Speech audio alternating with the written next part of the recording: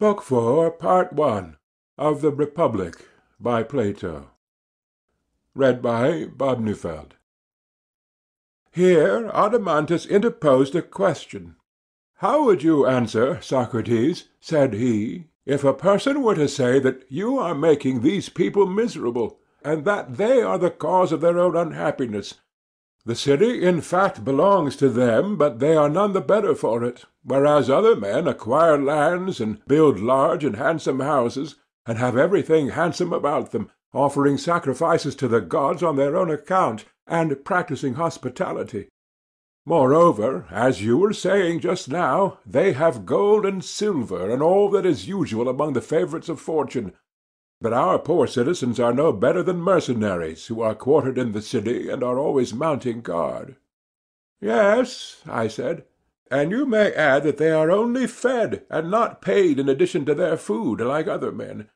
And therefore they cannot, if they would, take a journey of pleasure. They have no money to spend on a mistress, or on any luxurious fancy, which, as the world goes, is thought to be happiness, and many other accusations of the same nature might be added. But, said he, let us suppose all this to be included in the charge. You mean to ask, I said, what will be our answer? Yes.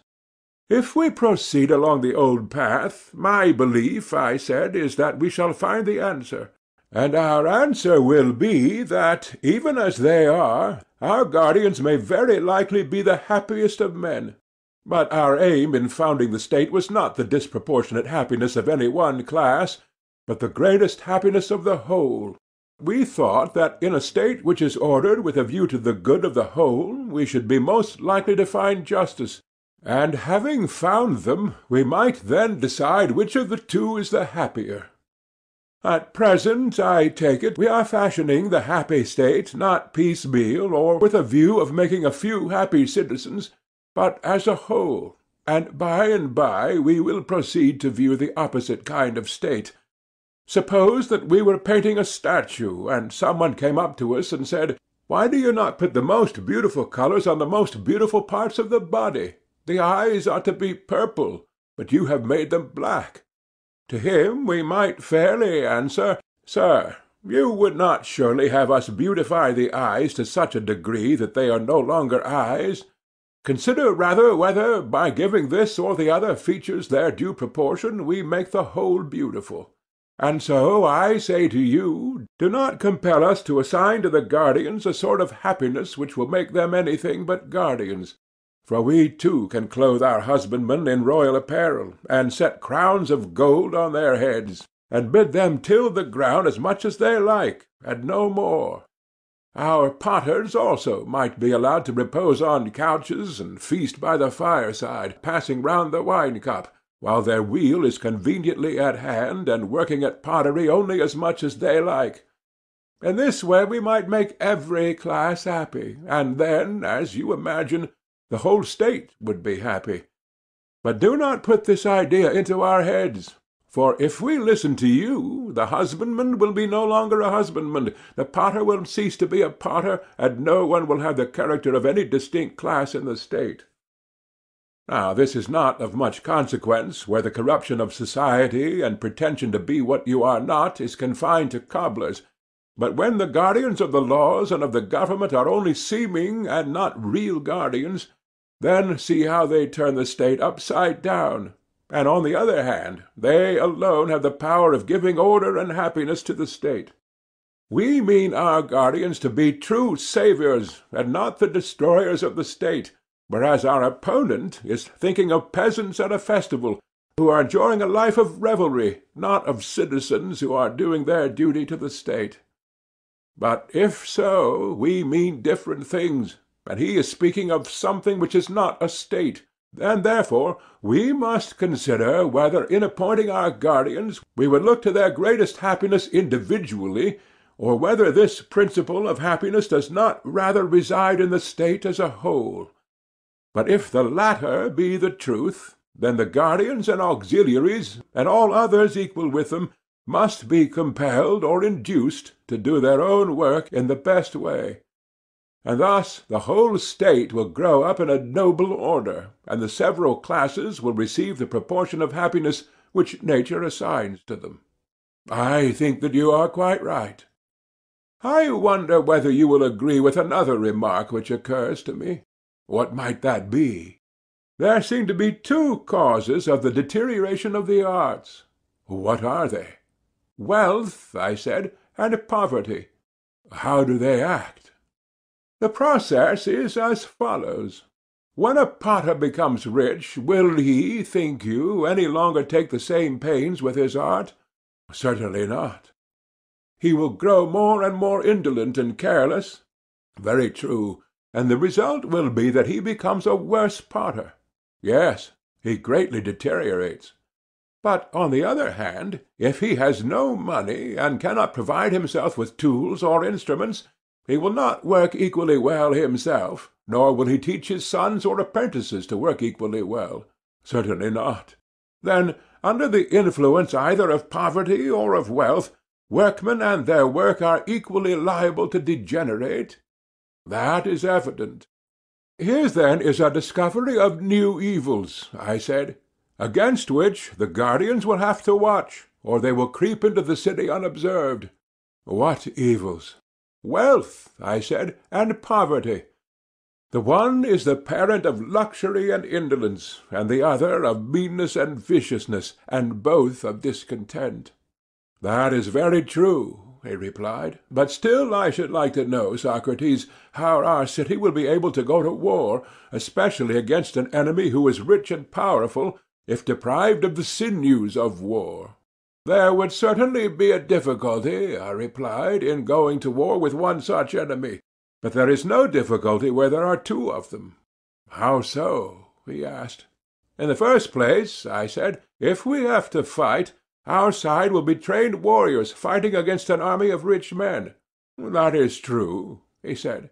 And do you not suppose, Adeimantus, that a single boxer who is perfect in his art would easily be a match for two stout and well-to-do gentlemen who were not boxers? Hardly, if they came upon him at once. What now, I said, if we were able to run away and then turn and strike at the one who first came up, and supposing he were to do this several times under the heat of a scorching sun, might he not, being an expert, overturn more than one stout personage? Certainly, he said. There would be nothing wonderful in that. And yet rich men probably have a greater superiority in the science and practice of boxing than they have in military qualities. Likely enough. Then we may assume that our athletes will be able to fight with two or three times their own number? I agree with you, for I think you're right. And supposing that before engaging, our citizens send an embassy to one of the two cities telling them what is the truth. Silver and gold we neither have nor are permitted to have, but you may. Do you therefore come and help us in war, and take the spoils of the other city. Who, on hearing these words, would choose to fight against lean wiry dogs, rather than, with the dogs on their side, against fat and tender sheep? That is not likely, and yet there might be a danger to the poor state if the wealth of many states were to be gathered into one. But how simple of you to use the term state at all of any but our own! Why so? You ought to speak of other states in the plural number. Not one of them is a city, but many cities, as they say in the game. For indeed any city, however small, is in fact divided into two, one the city of the poor, the other of the rich. These are at war with one another, and in either there are many smaller divisions, and you would be altogether beside the mark if you treated them all as a single state. But if you deal with them as many, and give the wealth or power or persons of one to the others, you will always have a great many friends and not many enemies. And your state, while the wise order which has now been prescribed continues to prevail in her, will be the greatest of states, I do not mean to say in reputation or appearance, but in deed and truth, though she number not more than a thousand defenders. A single state which is her equal you will hardly find, either among Hellenes or barbarians, though many that appear to be as great and many times greater. That is most true, he said. And what, I said, will be the best limit for our rulers to fix when they are considering the size of the state and the amount of territory which they are to include, and beyond which they will not go? What limit would you propose? I would allow the state to increase so far as is consistent with unity. That, I think, is the proper limit. Very good, he said. Here, then, I said, is another order which will have to be conveyed to our guardians. Let our city be accounted neither large nor small, but one and self-sufficing. And surely, said he, this is not a very severe order which we impose upon them. And the other, said I, of which we were speaking before, is lighter still. I mean the duty of degrading the offspring of the guardians when inferior, and of elevating into the rank of guardians the offspring of the lower classes when naturally superior. The intention was that in the case of the citizens generally, each individual should be put to the use for which nature intended him, one to one work, and then every man would do his own business, and be one and not many, and so the whole city would be one and not many. Yes, he said, that is not so difficult. The regulations which we are prescribing, my good Adeimantus, are not, as might be supposed, a number of great principles, but trifles all, if care be taken, as the saying is, of the one great thing; a thing, however, which I would rather call, not great, but sufficient for our purpose. What may that be? he asked. Education, I said, and nurture. If our citizens are well educated, and grow into sensible men, they will easily see their way through all these, as well as other matters which I omit. Such, for example, as marriage, the possession of women, and the procreation of children, which will all follow the general principle that friends have all things in common, as the proverb says. That will be the best way of settling them. Also, I said, the state, if once started well, moves with accumulating force like a wheel. For good nurture and education implant good constitutions, and these good constitutions taking root in a good education improve more and more, and this improvement affects the breed in man as in other animals. Very possibly, he said. Then, to sum up, this is the point to which, above all, the attention of our rulers should be directed, that music and gymnastic be preserved in their original form, and no innovation made. They must do their utmost to maintain them intact, and when any one says that mankind must regard the newest song which the singers have, they will be afraid that he may be praising, not new songs, but a new kind of song; and this ought not to be praised, or conceived to be the meaning of the poet; for any musical innovation is full of danger to the whole state, and ought to be prohibited. So Damon tells me, and I can quite believe him. He says that when modes of music change, the fundamental laws of the state always change with them. Yes, said Adeimantus, and you may add my suffrage to Damon's and your own. Then, I said, our guardians must lay the foundations of their fortress in music? Yes, he said. The lawlessness of which you speak too easily steals in. Yes, I replied in the form of amusement, and at first sight it appears harmless. Why, yes, he said, and there is no harm. Were it not that little by little this spirit of license, finding a home, imperceptibly penetrates into manners and customs, whence, issuing with greater force, it invades contracts between man and man, and from contracts goes on to laws and constitutions, in utter recklessness, ending at last, Socrates, by an overthrow of all rights, private as well as public. Is that true? I said. That is my belief, he replied. Then, as I was saying, our youth should be trained from the first in a stricter system, for if amusements become lawless, and the youth themselves become lawless, they can never grow up into well conducted and virtuous citizens. Very true, he said. And when they have made a good beginning in play, and by the help of music have gained the habit of good order, then this habit of order, in a manner how unlike the lawless play of the others, will accompany them in all their actions, and be a principle of growth to them, and if there be any fallen places in the state, will raise them up again. Very true, he said. Thus educated, they will invent for themselves any lesser rules which their predecessors have altogether neglected. What do you mean? I mean such things as these.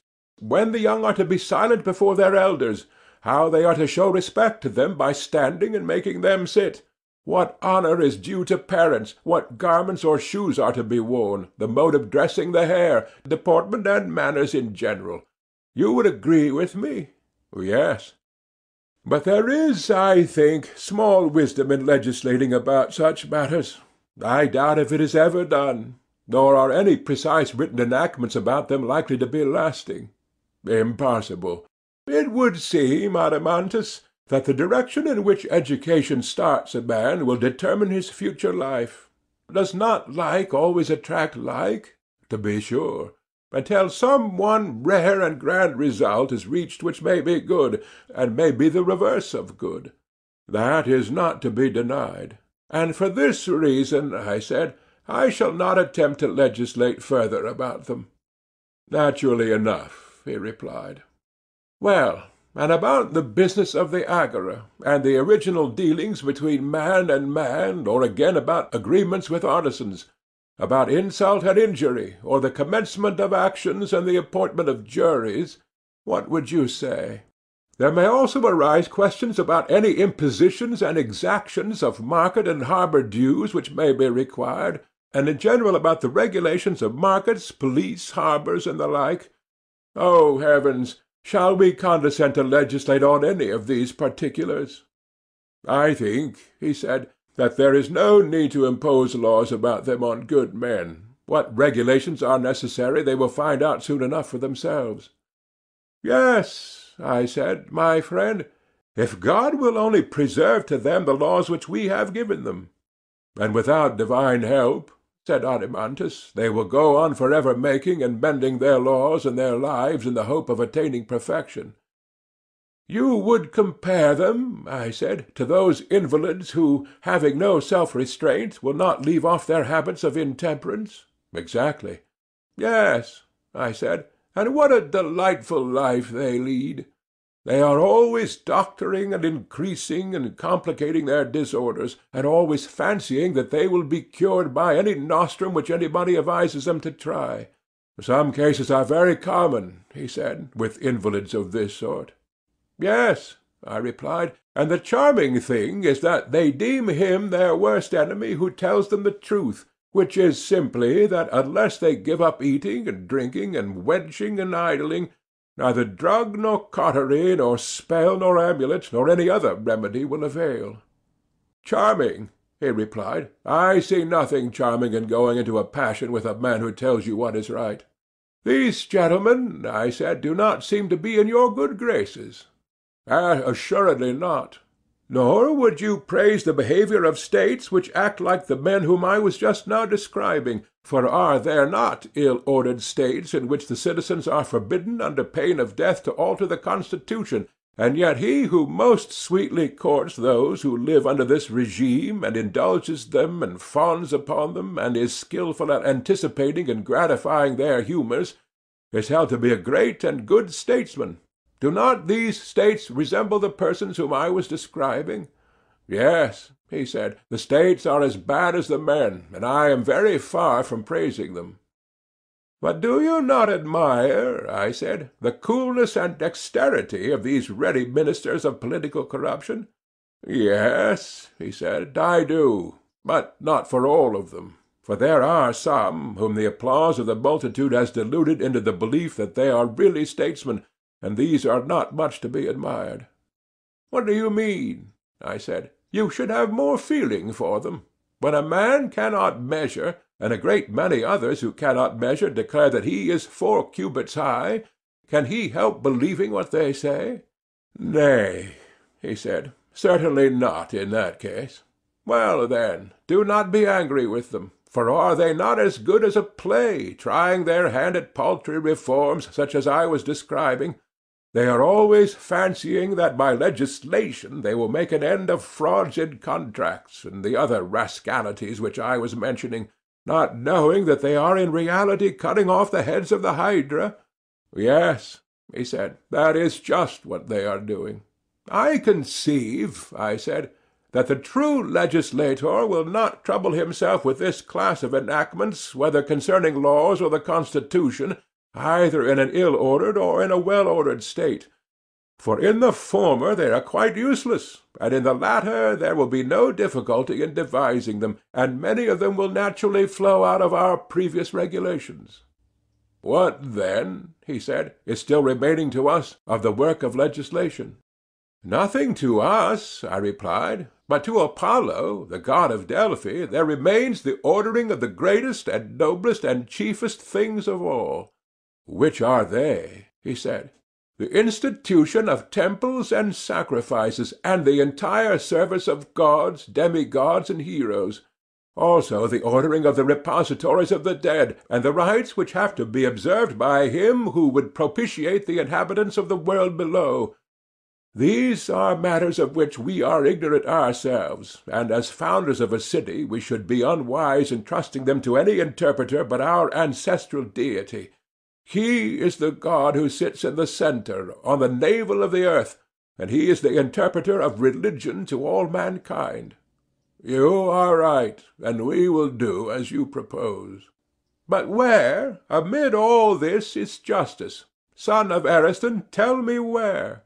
Now that our city has been made habitable, light a candle and search, and get your brother and Polemarchus and the rest of our friends to help, and let us see where in it we can discover justice, and where injustice, and in what they differ from one another, and which of them the man who would be happy should have for his portion, whether seen or unseen by gods and men.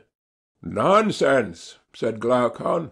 Did you not promise to search yourself, saying that for you not to help justice in her need would be an impiety. I do not deny that I said so, and as you remind me, I will be as good as my word. But you must join. We will, he replied. Well, then, I hope to make a discovery in this way. I mean to begin with the assumption that our state, if rightly ordered, is perfect. That is most certain and being perfect, is therefore wise and valiant and temperate and just. That is likewise clear. And whichever of these qualities we find in the state, the one which is not found will be the residue? Very good. If there were four things, and we were searching for one of them, wherever it might be, the one sought for might be known to us from the first, and there would be no further trouble, or we might know the other three first, and then the fourth would be clearly the one left. Very true, he said. And is not a similar method to be pursued about the virtues, which are also four in number? Clearly. First among the virtues found in the state, wisdom comes into view, and in this I detect a certain peculiarity. What is that? The state which we have been describing is said to be wise as being good in counsel, very true. And good counsel is clearly a kind of knowledge, for not by ignorance but by knowledge do men counsel well. Clearly. And the kinds of knowledge in a state are many and diverse? Of course. There is the knowledge of the carpenter, but is that the sort of knowledge which gives a city the title of wise and good in counsel? Certainly not. That would only give a city the reputation of skill in carpentering. Then a city is not to be called wise because possessing a knowledge which counsels for the best about wooden implements? Certainly not. Nor by reason of a knowledge which advises about brazen pots, I said, nor as possessing any other similar knowledge. Not by reason of any of them, he said. Nor yet by reason of a knowledge which cultivates the earth. That would give the city the name of agricultural. Yes. Well, I said, and is there any knowledge in our recently founded state among any of the citizens which advises, not about any particular thing in the state, but about the whole, and considers how a state can best deal with itself and with other states? There certainly is. And what is this knowledge, and among whom is it found? I asked. Oh, it is the knowledge of the guardians, he replied, and is found among those whom we were just now describing as perfect guardians. And what is the name which the city derives from the possession of this sort of knowledge? The name of good in counsel and truly wise. And will there be in our city more of these true guardians or more smiths? The smiths, he replied, will be far more numerous. Will not the guardians be the smallest of all the classes who receive a name from the profession of such kind of knowledge? Much the smallest. And so, by reason of the smallest part or class, and of the knowledge which resides in this presiding and ruling part of itself, the whole state, being thus constituted according to nature, will be wise, and this, which has the only knowledge worthy to be called wisdom, has been ordained by nature to be of all classes the least. Most true. Thus, then, I said, the nature and place in the state of one of the four virtues has somehow or other been discovered, and in my humble opinion very satisfactorily discovered he replied. Again, I said, there is no difficulty in seeing the nature of courage, and in what part that quality resides which gives the name of courageous to the state. How do you mean? Why, I said, every one who calls any state courageous or cowardly will be thinking of the part which fights and goes to war on the state's behalf. No one, he replied, would ever think of any other. The rest of the citizens may be courageous or may be cowardly, but their courage or cowardice will not, as I conceive, have the effect of making the city either the one or the other. Certainly not. The city will be courageous in virtue of a portion of herself which preserves under all circumstances that opinion about the nature of things to be feared and not to be feared, in which our legislator educated them, and this is what you term courage. I should like to hear what you are saying once more, for I do not think that I perfectly understand you. I mean that courage is a kind of salvation. Salvation of what? Of the opinion respecting things to be feared, what they are and of what nature, which the law implants through education. And I mean by the words under all circumstances to intimate that in pleasure or in pain, or under the influence of desire or fear, a man preserves and does not lose his opinion. Shall I give you an illustration? If you please. You know, I said, that dyers, when they want to dye wool for making the true sea purple, begin by selecting their white colour first. This they prepare and dress with much care and pains, in order that the white ground may take the purple hue in full perfection. The dyeing then proceeds and whatever is dyed in this manner becomes a fast colour, and no washing, either with lyes or without them, can take away the bloom.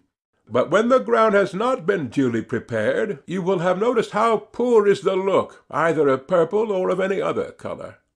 Yes, he said, I know that they have a washed out and ridiculous appearance. Then now, I said, you will understand what our object was in selecting our soldiers, and educating them in music and gymnastic. We are contriving influences which would prepare them to take the dye of the laws imperfection, and the colour of their opinion about dangers and of every other opinion was to be indelibly fixed by their nurture and training, not to be washed away by such potent lyes as pleasure, mightier agent far in washing the soul than any soda or lye, or by sorrow, fear, and desire, the mightiest of all other solvents. And this sort of universal saving power of true opinion in conformity with law about real and false dangers, I call and maintain to be courage, unless you disagree. But I agree, he replied, for I suppose that you mean to exclude more uninstructed courage, such as that of a wild beast or a slave. This, in your opinion, is not the courage which law ordains, and ought to have another name. Most certainly.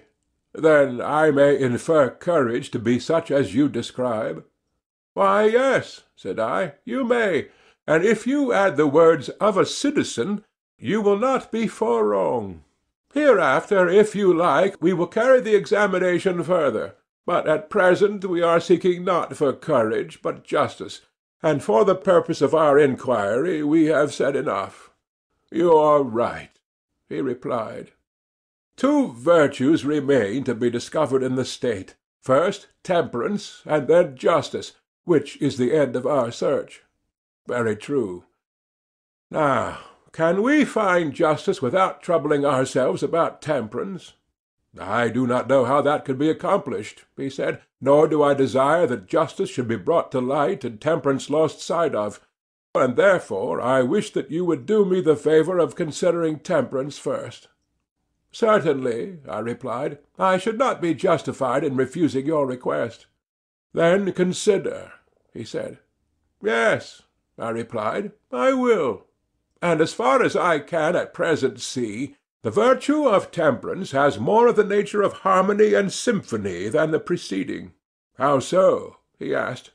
Temperance, I replied, is the ordering or controlling of certain pleasures and desires. This is curiously enough implied in the saying of a man being his own master, and other traces of the same notion may be found in language. No doubt, he said, there is something ridiculous in the expression master of himself, for the master is also the servant, and the servant the master, and in all these modes of speaking the same person is denoted. Certainly. The meaning is, I believe, that in the human soul there is a better and also a worse principle, and when the better has the worse under control, then a man is said to be master of himself, and this is a term of praise. But when, owing to evil education or association, the better principle, which is also the smaller, is overwhelmed by the greater mass of the worse, in this case he is blamed, and is called the slave of self and unprincipled. Yes, there is reason in that.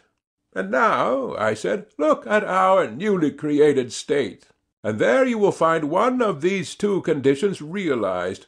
For the state, as you will acknowledge, may be justly called master of itself, if the words temperance and self-mastery truly express the rule of the better part over the worse.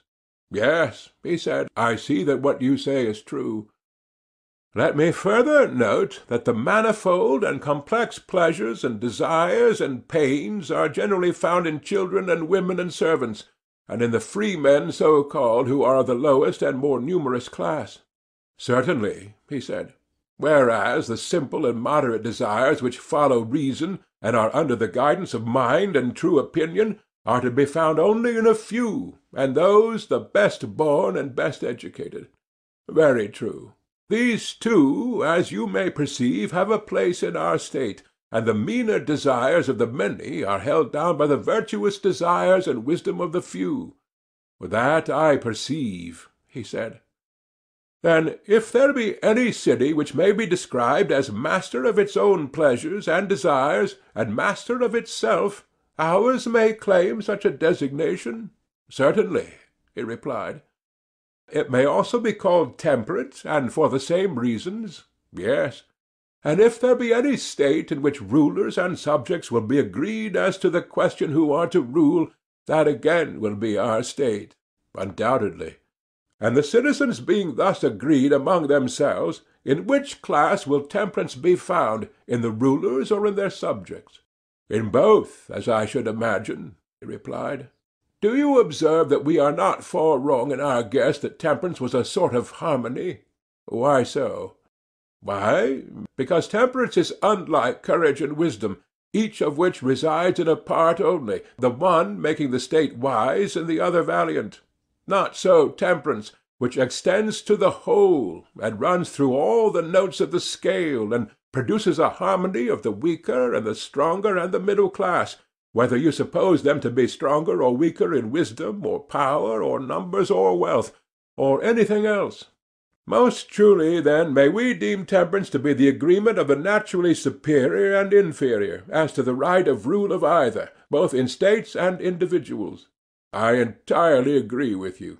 And so, I said, we may consider three out of the four virtues to have been discovered in our state. The last of these qualities which make a state virtuous must be justice, if we only knew what that was. The inference is obvious. The time has then arrived, Glaucon, when, like huntsmen, we should surround the cover, and look sharp that justice does not steal away, and pass out of sight and escape us. For beyond a doubt she is somewhere in this country. Watch, therefore, and strive to catch a sight of her, and if you see her first, let me know. Would that I could! But you should regard me rather as a follower, who has just eyes enough to see what you show him. That is about as much as I am good for. Offer a prayer with me and follow. I will, but you must show me the way. Here is no path, I said, and the wood is dark and perplexing. Still we must push on. Let us push on. End of